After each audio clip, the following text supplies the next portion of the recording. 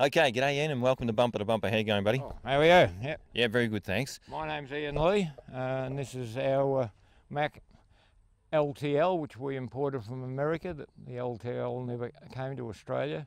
There were 2,060 built from 1947 to 1956.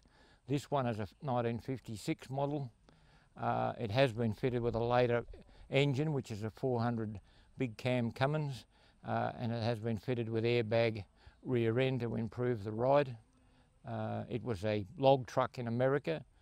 When we brought it to Australia, we decided to make it into a body truck and we put a Ringfeder on the back. Uh, so it was, you know, trying to make an imitation road train truck, I suppose, but we haven't done any road train at this stage. You plan on doing road train? I don't think so, no. it, it's good to dream, isn't it, eh? It is good to dream. Yeah, keep the dream alive. Uh, so that's about the story to it, I suppose. And that's, All right. Well, um, was it restored when you uh, first brought it in?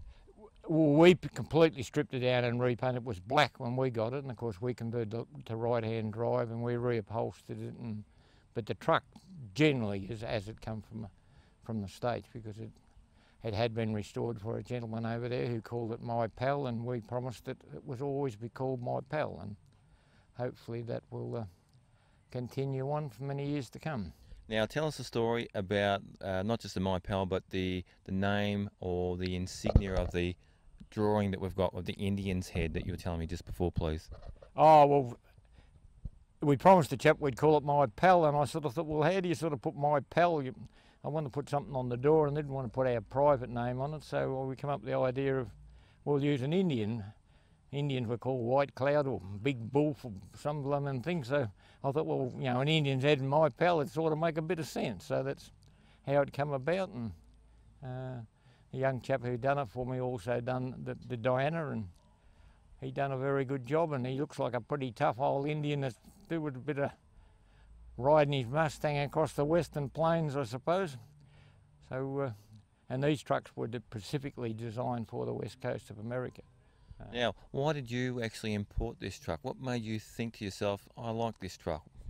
Well, I've always loved Macks, and of course, the greatest Mack that they probably ever made in the early days was the LTL. It was a very expensive truck, and, and that's why large numbers were never sold, but uh, it's an extremely popular truck. Okay, Ian, welcome back. Now, you've got another truck. It's the Diamond T. Yeah, yeah. Mate, this truck has got a lot of chrome work on it. It's exceptional. I think it's one beautiful looking truck. Tell me a little bit about it, buddy.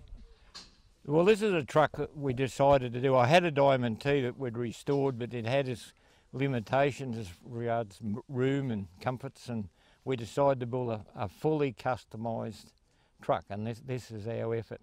Uh, so we bought the, the remains of a, a Diamond T at a truck wreckers up in Toowoomba, uh, which was really only a skeleton, and we got another cabin off a, another wrecker in Dalby, and and uh, we built it. So we've completely modified the cabin. We dropped the floor. We moved the firewall out.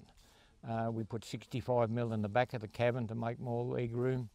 We put 50 mil in the in the ceiling to give you more head height and to allow us to put a lot of instruments up over the windscreen. Uh, we lengthened the bonnets. Uh, we put the V-type bumper on it so we could move the engine further forward to give us more leg space in the cabin. Uh, we put a later model Cummins engine and an Allison six-speed automatic transmission uh, and a late model Meritor rear end with airbag suspension. We mounted a whole, the cabin, the guards and the sleeper all on one common rail and mounted that on airbags. Uh, all of the running gear is out of a late model truck, so it's really a fully customised truck. Well, it's a beautiful looking truck. Now, how long ago did you finish doing the customisation work? Well, gee, that's a good question. About four year ago, I suppose. Now, you, you, I don't mean to be rude, but you're not a young fella, so for you to take on a project like this and customise a truck, uh, you know, you, you, you must be very passionate about trucks. Well, I'm pretty young at heart, you know. Ah. There ain't nothing wrong with the mind. It's just the other belts let me down some days. But, uh, I won't ask what they are. but I'm very lucky. I've got a very good team of people that help me do things, and everything we do is a team effort. And uh, So without their effort, it would never have been what it is today. It's a beautiful truck. You guys must do great work because uh, you can see this on your trucks. And I want to say thanks for being on Bumper to Bumper. And I was it. No, thank you for inviting me on. Cheers, mate. All the best.